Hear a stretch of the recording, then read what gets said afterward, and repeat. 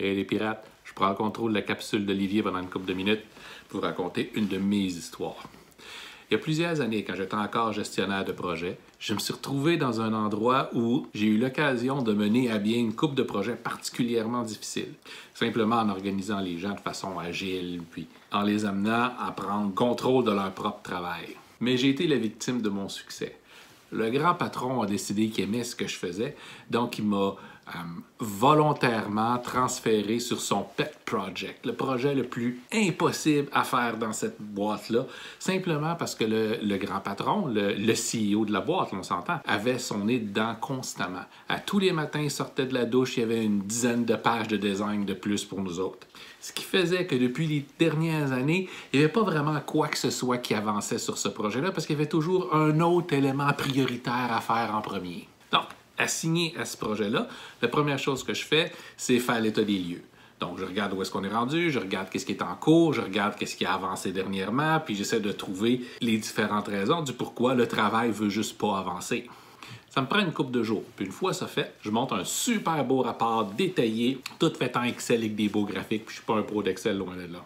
On n'avait aucun outil pour automatiser ça. Donc j'ai dû tout faire ça à la main. Ça m'a pris une grosse demi-journée à juste monter le rapport. Donc je l'envoie au patron hyper content, passe ça à toute la haute direction de la compagnie, tout le monde est content. Patron me revient et fait OK, Maurice, maintenant je veux ce rapport-là tous les jours. Tous les jours? Aucun besoin pour ça. C'est un rapport d'état des lieux. On fait ça une fois de temps en temps. Je peux monter un petit rapport facile à toutes les semaines pour montrer l'avancée euh, du travail. Maintenant, on sait qu'est-ce qui fonctionne pas. Non, non, non, non, non, non, non. Je veux ça. Toutes les graphiques comme ça. Ce genre d'informations-là partout. Je veux aussi qu'il y ait son 4-5 pages comme celui-là. C'est important. Je veux ça à tous les jours. Ça m'a pris la moitié de ma journée à faire. J'ai autre chose à faire. Maintenant, c'est ta première priorité. Première priorité, naturellement, pour lui, ne veut pas dire de ne pas faire le reste. Ça veut juste dire fais ça en premier, puis après ça, fais le reste. De toute façon, il avait tendance à dire il y a 24 heures dans une journée, puis je payais à l'année. Fait que, c'est pas un problème. Donc, la deuxième journée, je refais mon rapport. Ça me prend encore une fois la moitié de ma journée, puis j'y envoie. Pas d'écho. Le jour suivant, je refais le nouveau rapport. J'y envoie. Pas d'écho.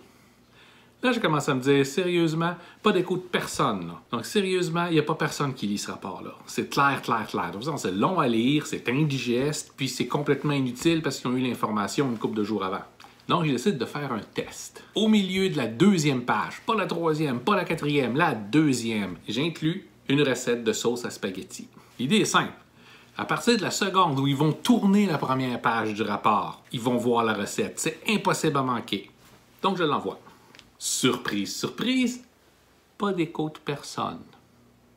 Fait que c'est clair, il n'y a pas personne qui lit mon rapport. Je refais ça une journée après. Euh, cette fois-là, en faisant absolument rien de mieux pour le rapport, j'ai repris le même rapport que la veille, je l'ai renvoyé. Pas d'écho. Je me suis dit, OK.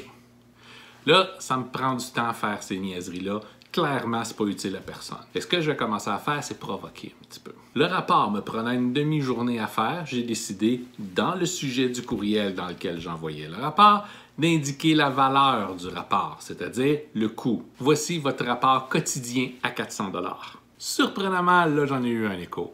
Ça n'a pas été très long. Semble-t-il que le CFO, donc le chef des finances dans l'entreprise, a vu le message passer pas ouvert le rapport, c'est sûr, parce qu'il y avait encore ma recette de sauce à spaghetti dedans. Mais il a vu le prix du rapport. Il appelle le CEO, fait c'est quoi ces niaiseries-là? Un rapport à 400$? Voyons donc, on n'a pas les moyens pour ça. Donc le CEO réagit immédiatement, puis m'appelle. On s'entend?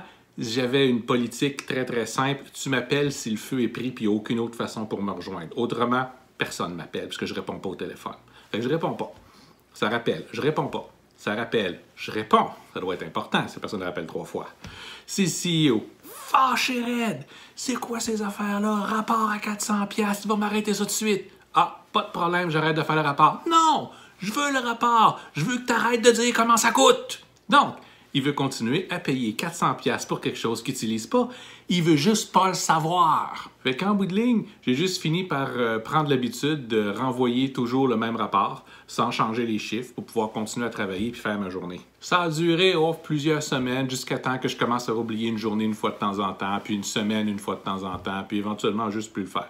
personne s'en est aperçu un coup rendu là. C'est bien pour vous dire à quel point le travail que vous demandez à vos employés, des fois, il n'y a peut-être pas tant de valeur que ça, même si vous êtes le boss. Sur ce, je vous renvoie Olivier.